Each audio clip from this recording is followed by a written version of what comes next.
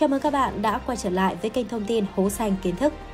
Có lẽ nhiều bạn từng thắc mắc, Việt Nam có nguồn tài nguyên dầu khí lớn nhưng lại không giàu có như các nước Trung Đông.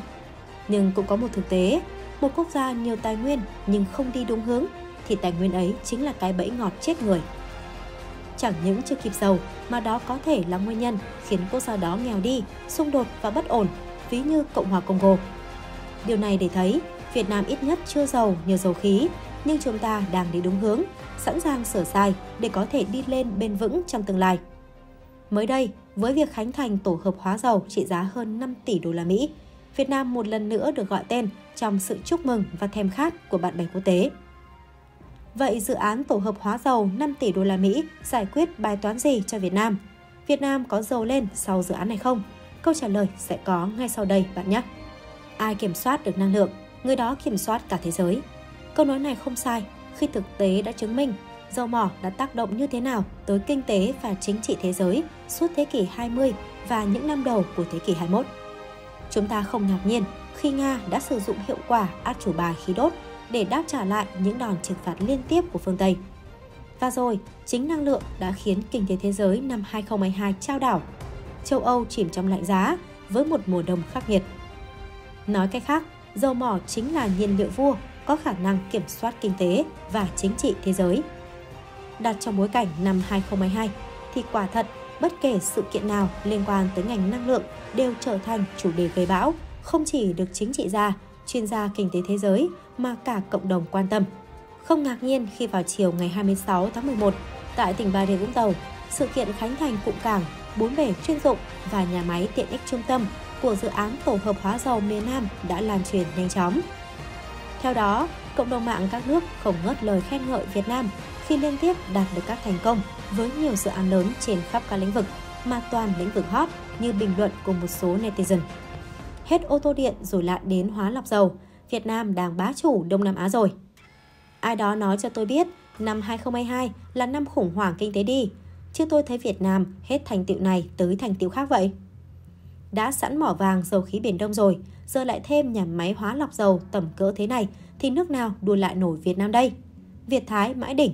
Theo đó, đây là tổ hợp hóa dầu tích hợp đầy đủ đầu tiên tại Việt Nam và là nhà máy lọc hóa dầu lớn thứ ba cả nước sau Nghi Sơn, Dung Quất, dự kiến chính thức đi vào hoạt động đầu năm 2023.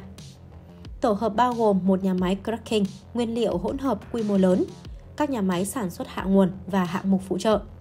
Tất cả được trang bị các công nghệ tiên tiến và hiện đại trên thế giới với tổng vốn đầu tư hơn 5 tỷ đô la Mỹ, nằm trong khu công nghiệp dầu khí Long Sơn, Vũng Tàu.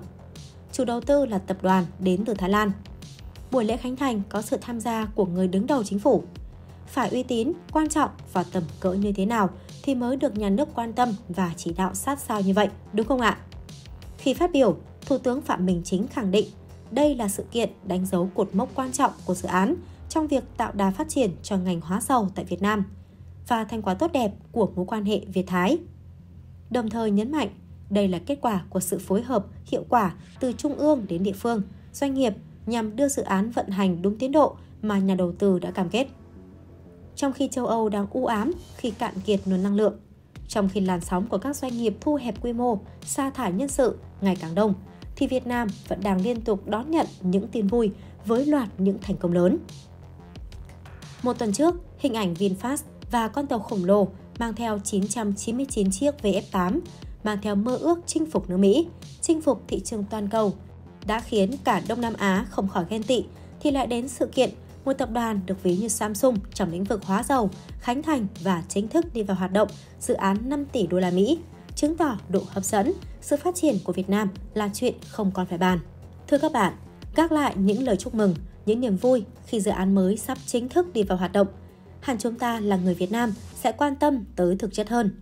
Và câu hỏi đặt ra là dự án hoàn thành sẽ giúp ngành năng lượng dầu khí Việt Nam giải quyết được bài toán nào?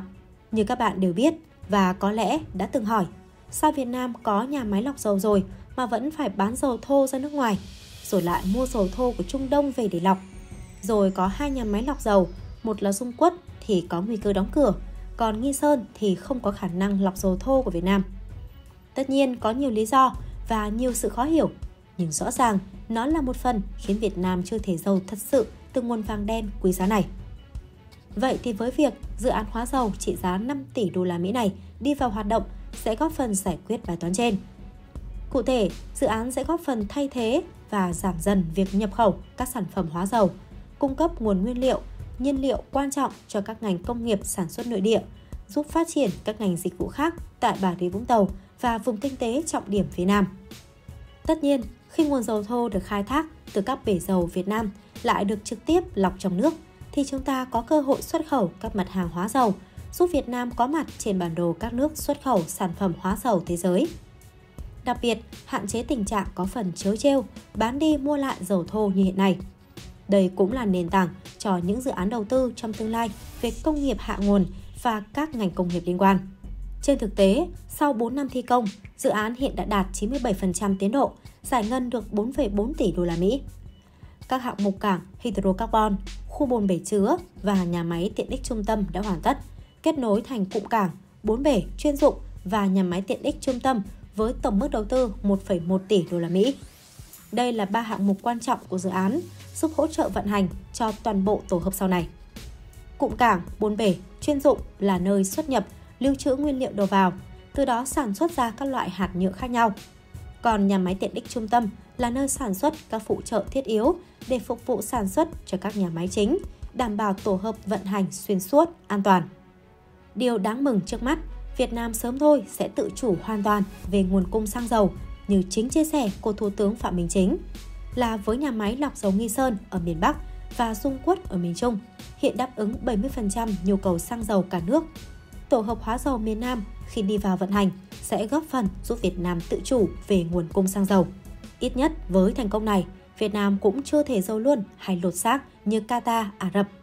Nhưng chắc chắn chúng ta không phải chứng kiến cảnh doanh nghiệp xăng dầu có xăng dầu nhưng không dám bán vì bán lít nào là lỗ lít đó. Chúng ta cũng không phải chịu cảnh có tiền cũng chẳng thể mua xăng dầu như các nước xứ sở văn minh đang phải chịu nhiều tháng qua.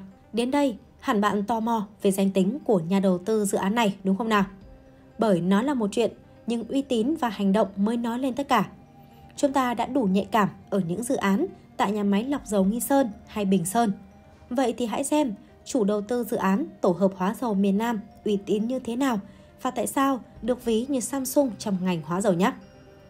Chủ đầu tư dự án là tập đoàn SGG đến từ Thái Lan.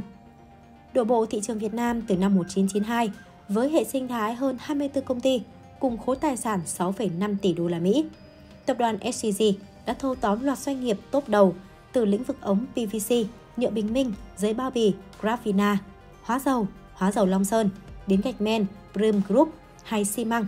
Ngày 30 tháng 9 năm 2022, tổng tài sản của CSG đạt 584.500 tỷ đồng, tương đương 24,53 tỷ đô la Mỹ. Riêng tổng tài sản của SCG tại khu vực Đông Nam Á, ngoại trừ Thái Lan là 11,31 tỷ đô la Mỹ, chiếm 46% trên tổng tài sản hợp nhất của SCG. Trong đó, Việt Nam đã trở thành thị trường trọng điểm thứ hai của SCG chỉ sau sân nhà Thái Lan.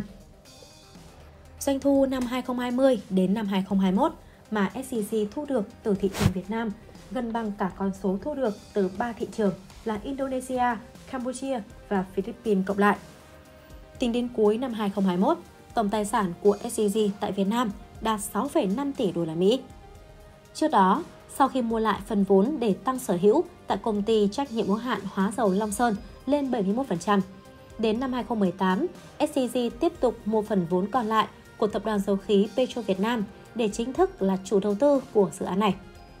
Động thổ từ năm 2018, cụm nhà máy trọng điểm đầu tiên ở dự án Long Sơn được khánh thành cuối tháng 11 vừa qua, bao gồm 3 hạng mục với công nghệ tiên tiến nhất, gồm cảng hydrocarbon, hệ thống bồn bể và nhà máy tiện ích trung tâm.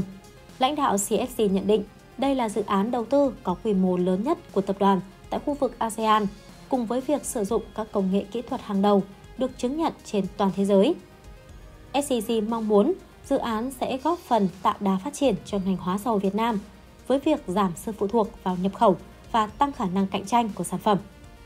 Đồng thời, ông Rondros Rangsipoas, Chủ tịch kiêm giám đốc điều hành tập đoàn SCG xác nhận Việt Nam hiện là điểm đến ưu tiên số 1 của tập đoàn trong khu vực ASEAN và từng hé mở thêm các kế hoạch khi chia sẻ. SCC thực sự rất lạc quan về tốc độ phục hồi của các doanh nghiệp nội địa Tôi xin xác nhận rằng Việt Nam là điểm đến đầu tư ưu tiên của SCG trong khu vực ASEAN. Chúng ta cùng hy vọng dự án mới này sẽ mang lại sự tăng trưởng kinh tế cho Việt Nam, giúp ngành dầu khí Việt Nam mở chế hóa, phát huy đúng giá trị của một tài nguyên có vai trò cả trong kinh tế và chính trị, đưa vị thế Việt Nam lên tầm cao mới. Tuy nhiên cũng nhấn mạnh lại, muốn đạt được mục tiêu thì nhà đầu tư, doanh nghiệp cùng chính phủ cần cam kết. Đã nói thì phải làm, đã cam kết thì phải thực hiện, thực hiện thì phải có hiệu quả. Hiệu quả là phải đảm bảo đúng tiến độ, chất lượng, lợi ích hài hòa, rủi ro chia sẻ và tất cả các bên cùng thắng. Bạn có đồng ý với quan điểm trên? Hãy chia sẻ cho hố xanh kiến thức cùng biết nhé. Video đến đây là hết rồi. Nếu bạn nhận được thông tin gì thú vị và ý nghĩa thì hãy dành cho hố xanh kiến thức sự ủng hộ bằng cách chia sẻ video đến mọi người nhé. Bạn cũng có thể nhấp vào bên trái hoặc bên phải màn hình để theo dõi những video thú vị khác của hố xanh kiến thức. Cảm ơn các bạn đã quan tâm theo dõi. Còn bây giờ, xin chào và hẹn gặp lại!